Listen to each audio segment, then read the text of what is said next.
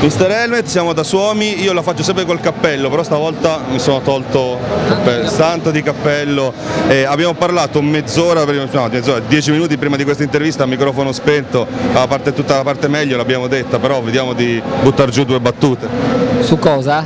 Non lo so, allora facciamo, parliamo di, non so se te, tu sei un appassionato di oroscopo, allineamento dei pianeti, cabala, ti spiego perché. No, però ti dico, allora, un allineamento così come striscia, pilota italiano, moto italiana, sponsor italiano, stivali, tuta, casco, primo italiano a vincere in Superbike che è un campionato organizzato da italiani, in Italia, non so, c'è qualcos'altro di tricolore, secondo te, cioè anche il più illustre matematico no? non avrebbe mai potuto sperare in una cosa del genere?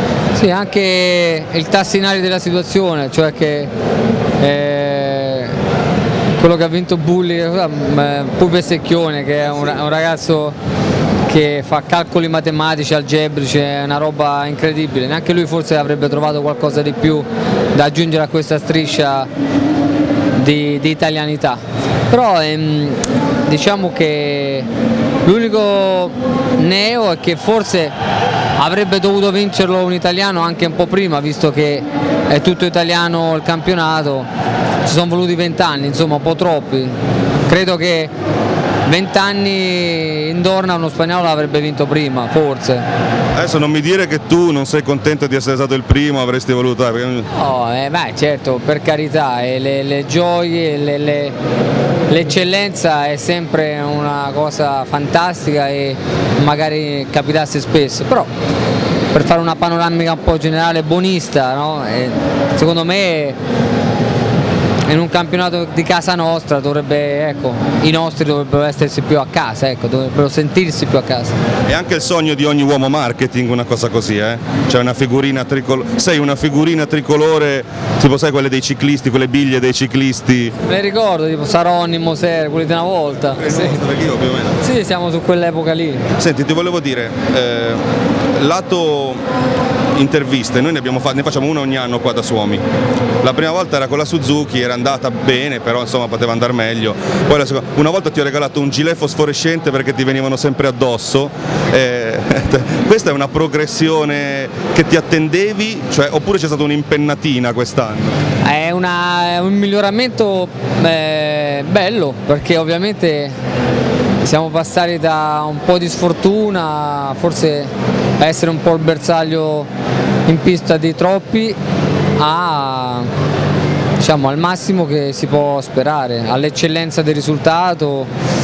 Come hai detto te, tutta questa italianità addosso, con un pilota che insomma da tanti anni che è sulla, sulla breccia fa piacere, è una cosa, è un fiore all'occhiello, diciamo che negli ultimi anni eh, questo è uno di quelli che è trascorso troppo velocemente, vorrei rallentarlo, riviverlo, riassaporarlo, cosa che non si può, però è talmente bello che mi piacerebbe gustarlo un po' di più. Ah, quest'anno hai vinto no? e poi hai già avuto questo pensierino malefico di, di no, smetto, no, forse no, un momento di, di stanchezza. No? Adesso però io ti devo chiedere, per l'anno prossimo sai come faceva Lucarelli, paura? Oppure non so, eh, cioè sei pronto, cioè, perché adesso hai vinto tutto bello, adesso cioè, o rivinci facendo sanguinare qualcuno in pista oppure... Sai che la cosa più difficile è vincere, la cosa più complicata è riconfermarsi, però la stessa domanda che potresti fare a quei pochi campioni eccellenti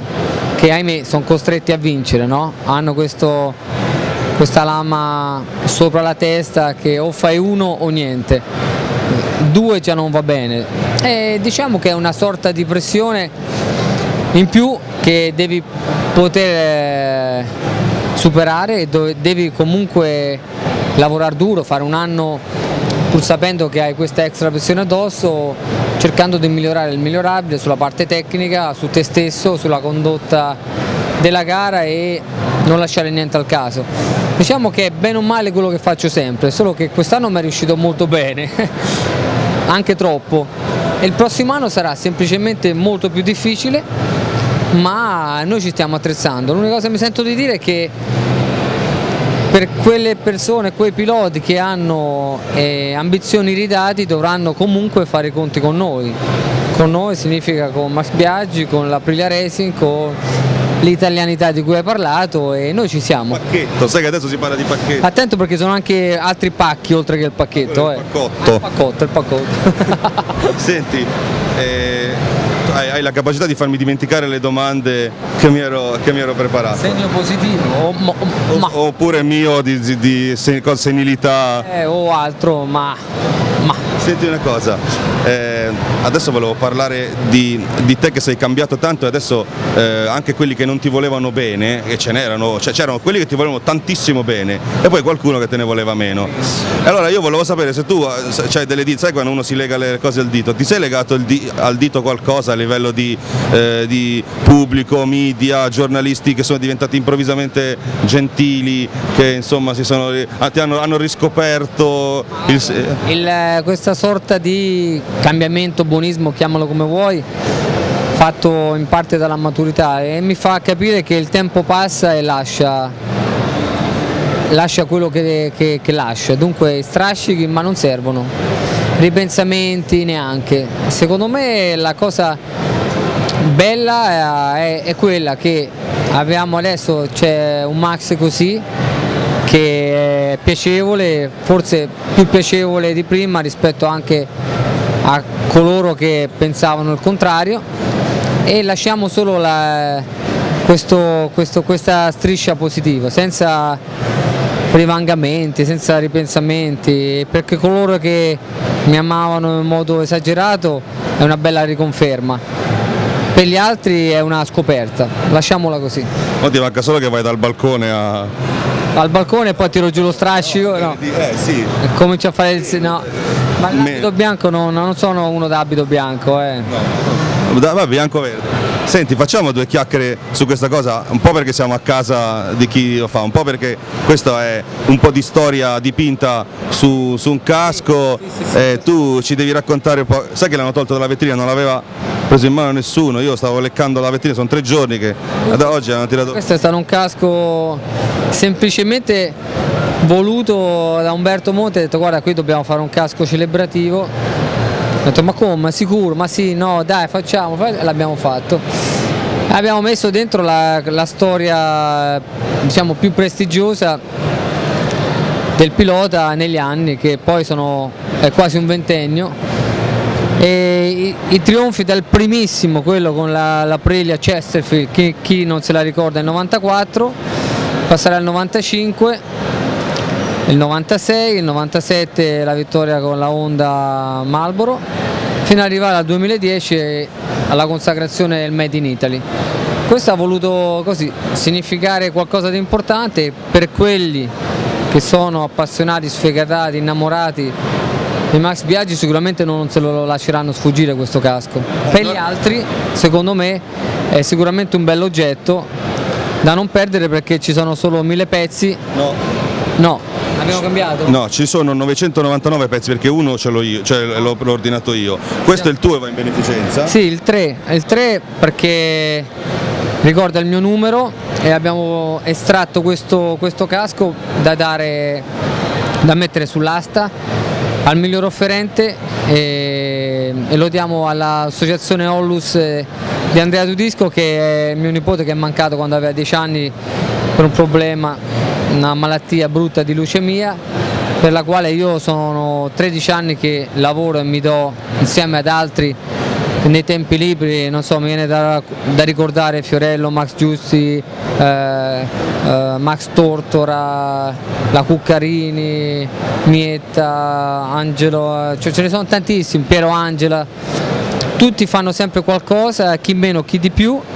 E questo vorrei che venisse comprato anche molto di più di quello che vale, proprio per, un- per un- per uno scopo importante. Beh, questo è anche un casco, hanno scelto no, di fare un casco più accessibile come gamma in modo che anche i veri appassionati possano eh, con un modello entry, entry level di, medio- di media gamma poterlo, potersene appropriare. Insomma a volte eh, i- le passioni sono inaccessibili ed è peccato.